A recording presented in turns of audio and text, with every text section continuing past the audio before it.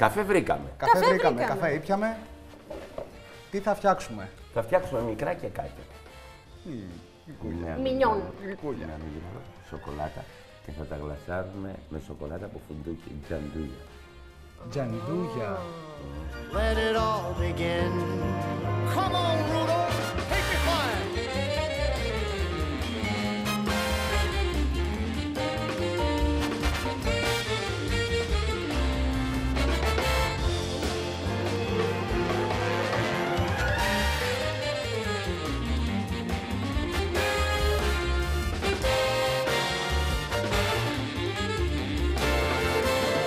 Λοιπόν, να ξεκινήσουμε. Σοκολάτα. Όχι τη γάλακτο. Τι νουάρ. Τι νουάρ. Είχαμε και πιο νουάρ, αλλά δεν πειράζει, μου το αυτή τώρα. Θες να κόψεις. Ναι, ναι, ναι, ναι, ναι. Ωραία. Το μάθα, το μάθα. 125 γραμμάρια. Το έμαθα εγώ. Εδώ, εδώ και αυτού είναι το μισό. Εδώ. 125. Got it all prepared, it's coming. It's stunning. 125 Κόβουμε βούτυρο. και 125 βούτυρα.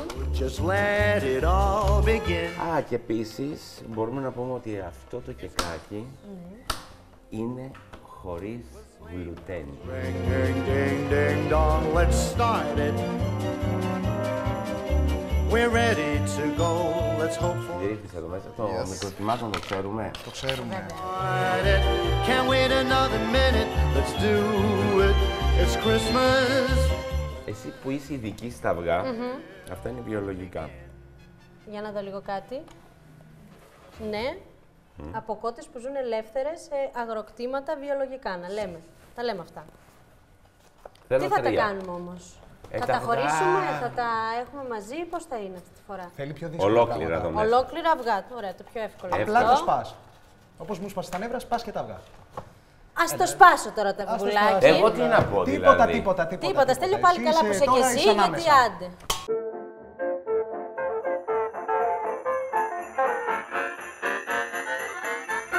Βάζουμε καστανή ζάχαρη, γιατί την αγαπάμε.